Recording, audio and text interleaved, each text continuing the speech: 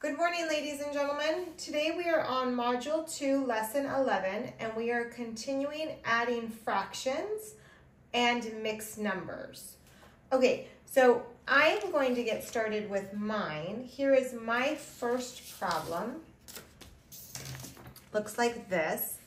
Um, and what I notice is I notice two, com two mixed numbers but I'm going to first look at my steps because these are the steps we've been using. So I'm going to set it up vertically. I'm going to make common denominators using either method. I'm going to then add or subtract. Then if my fractions are greater than one, I'm going to make them proper or less than one fractions, and then I'm going to simplify. Okay, so here is my first problem. Okay, what I'm going to do first is I am going to set them up vertically. So I have six and three sevenths plus four and one half. Okay, I notice that my denominators are different, which means the pieces are, or size of the pieces are different. So I have to have common denominators. The easiest way is if my small denominator fits perfectly into my large one, I know that's my least common denominator. But since that's not the case, I need to find my least common multiple. So I like to start with the largest one and say 7, 14. Okay, I know that 2 is not a multi 7 is not a multiple of 2, but 14 is. And if I listed all mine, I would actually see that. So I know 14 is going to work. So I'm going to set up my problem again with my new denominator or my least common denominator. And I'm going to say what happened to my 7 to become a 14? I multiplied it by 2, which means I'm going to multiply my numerator by 2. What happened to 2 to become 14? I multiplied it by 7, so I'm going to multiply my numerator. So I am getting 6 fourteenths plus 7 fourteenths equals 13 fourteenths, and 6 plus 4 equals 10. Okay, well this is not a fraction that's greater than 1 for step 4. This is a less than 1 fraction, so I don't need to do that. And 13 fourteenths can't be simplified. So that is my answer. Okay, I'm gonna do one more with you. So here is my next problem, and my steps are still the same. I'm going to set it up vertically, find common denominators, add or subtract, change greater than or improper fractions to less than one or proper fractions, and then simplify. Okay, so let's read our problem. Franny's making cookies for her soccer club's bake sale.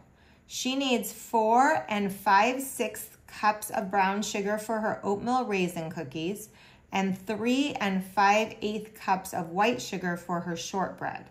How much sugar is Franny using all together? Okay, so in the story, she's going to be using this much brown sugar and this much white sugar, and they want to know how much she's going to use together. So I'm going to add those. So I'm going to set up my problem vertically. I'm going to notice that they don't have the same denominator, so I need to change it. Six does not fit perfectly into eight, so I can't use eight. So I need to think of my least common multiple. Well, eight times one, eight times two, 8 times 3. Oh, 24 works because I know 24 is also a multiple of 6. So I'm going to use 24. And notice I did not multiply my numerator or my denominators. I did not multiply them. That's not a good habit. Instead, I take the time and find the least common one. So 6 times 4 equals 24. So 5 times 4 is 20. 8 times 3 is 24. So 5 times 3 is 15. And now that they have common denominators, now I can solve the problem. So 20 24ths plus 15 24ths is 35 24ths. And 4 plus 3 is 7.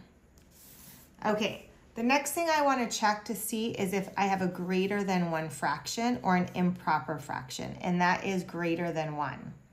So I want to fix that. Now, if you know how to do it on your just in your mind because you know 24 24ths is 1 and that would be 25, 26, 27, 28, 29, 30, 31, 32, 33, 34, 35. I would have 11 extra. So 35 24ths is 1 and 11 24ths. But there was already 7 wholes. So I'm getting 8 and 11 24ths. If you couldn't do that in your head, well, I know that 35 24ths is the same as 35 divided by 24. So I could work that out. And I'm getting 1 with 11 left over. And my denominator stays the same. But again, I already had 7 wholes, so it would be 8 and 11 24ths. And I know I can't simplify that. So that would be my final answer. Okay, ladies and gentlemen, let's try some together. So here is our paper that we're gonna work on. And our first problem is a word problem. So it says, a banana muffin recipe uses two and one third cups of flour. A blueberry muffin recipe uses two and three fourths cups of flour. How many cups of flour are needed to make both recipes? Okay, so that's an addition problem because I'm going to use this for one recipe, this for one recipe, and they want to know how much I need for both. So we're going to add both of our numbers. Okay, so we're going to set them up vertically.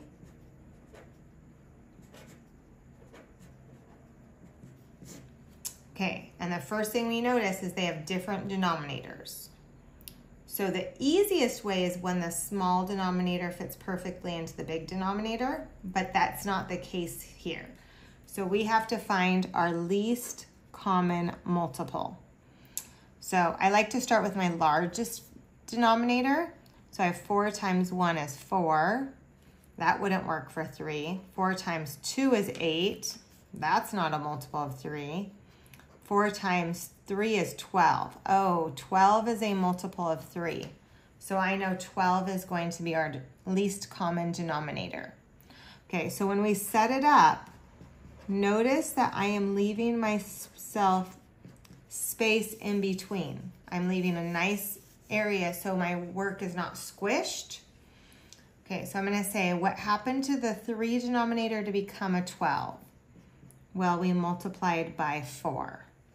So we're going to say 1 times 4 is 4. What happened to the 4 denominator be to become a 12? It was multiplied by 3, so we're going to say 3 times 3 is 9. Okay, now that they have the same denominator, now we can add. So we have 4 twelfths plus 9 twelfths is 13 twelfths. And 2 plus 2 is 4. Okay, so the first thing I'm gonna do when I'm done is step four, and I notice this is a greater than one or an improper fraction. So we wanna fix it. So some of you might be able to see this and know that 12 twelfths is one whole. So 13 twelfths is one whole plus one extra twelfth. But we already had the four still. So total I have five and one twelfth. Okay, if you don't know how I did that in my head, then we can work it out. 13 twelfths is the same as 13 divided by 12. So we can set it up as 13 divided by 12 and say if I have 13 in my pile, I can make one group of 12 and I'll have one left over. And I'm still going to get the same thing. 1 and 1 twelfth. And then when we add our four we already had, we will get five and one twelfth. And that cannot be simplified for step five. So that is our final answer. Okay, we're gonna do one more together. I'm gonna fold my paper in half to make it a little easier for the camera. And here's my our next problem. Okay, so we're gonna do step one, which is we're gonna set it up vertically. So we have five and five sixths plus two and two ninths. Okay, well, they are different denominators, so we need to change it. The easiest way remember is when the six fits perfectly into the nine, but that's not the case here. So now we need to think of our multiples. So I'm gonna come over here. I like to start with my largest factor. So nine times one is nine. That's not a multiple of six. Nine times two is 18. Ah, 18 is a multiple of six because three times six is 18. So 18 is going to be our least common denominator.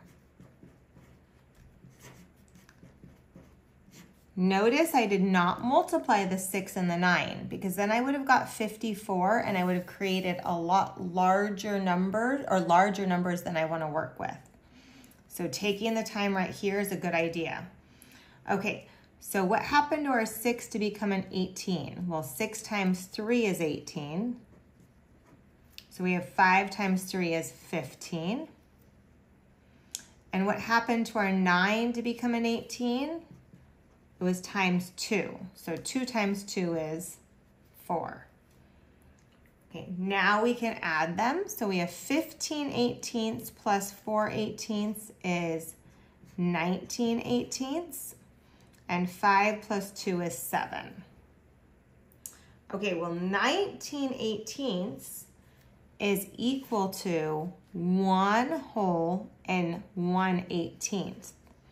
Because 18 18ths is 1 whole, and then you have 1 extra.